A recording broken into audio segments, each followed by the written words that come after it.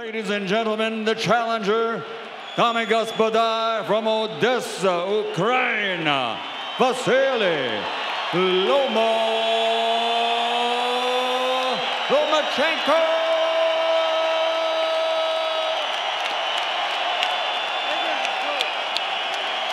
And across the ring, fighting out of the red corner, with his trainer, Carlos Linares, promoted by Teiken Promotions and Golden Boy Promotions, wearing black with gold and officially weighing in at 134.6 pounds.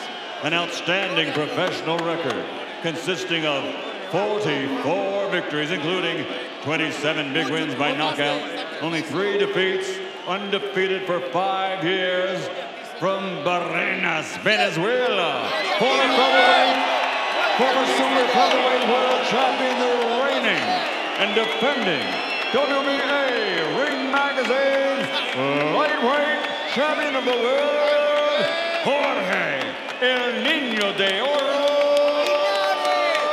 Linares.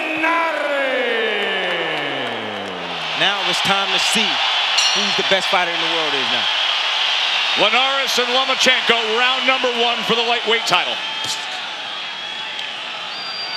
I want you guys to take your eyes to Loma's front foot, that lead foot. He always tries to get that front foot outside his opponent. Absolutely critical for a southpaw so that they have the advantage to shoot that straight left hand. There it comes with it as he fires it for the first time.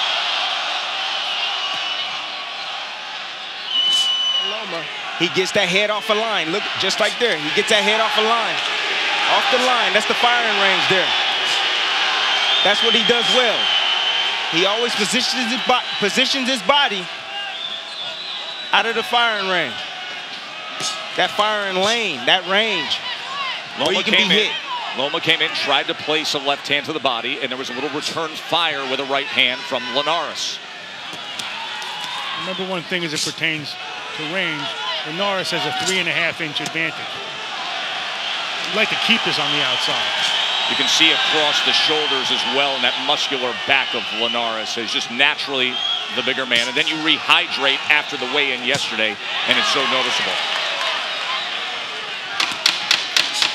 Round number six of this title fight. Linares came back with a little low one of his own. He is coming, going a little bit low near the belt line. I'll tell you, you can start to see swelling, especially around the left eye of Jorge Linares. Discoloration around both, but swelling around the eye. We will watch for that. Good combination from Linares as he landed a left hand. Now remember, he had the warning earlier. Another warning here from Ricky Gonzalez. One more, and it could be a point deduction. Quick feet, get around you with shots.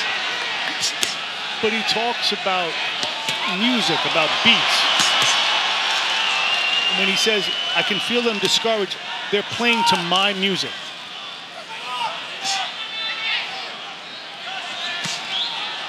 Yeah, he's Good work from Linares. Much of that blocked, but still offensive output. And look at Loma, stepping right to him, landed a left uppercut, and then an overhand right at short distance from only a few inches away. Nearly caught him coming in with a left hand, did Linares. Great ability to get away and land a punch of his own.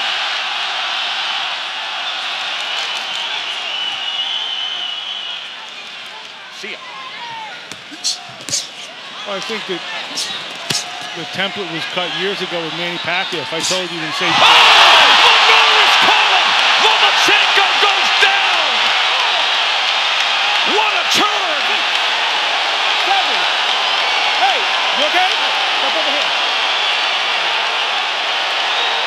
And now how will Loma react? You never know what's gonna happen.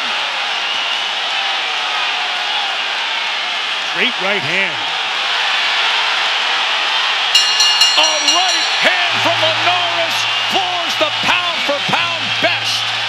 Here it is. Here it is. Loma walking straight in. getting real overconfident, got clipped with the right hand as he came in. When you come straight down the middle, the firing range, guess what? Linares met him with the right hand, right on the button. That's the southpaw killer, straight right hand. Boom, right on the chin. Vasily Lomachenko never knocked down as a pro as Oscar De La Hoya, the promoter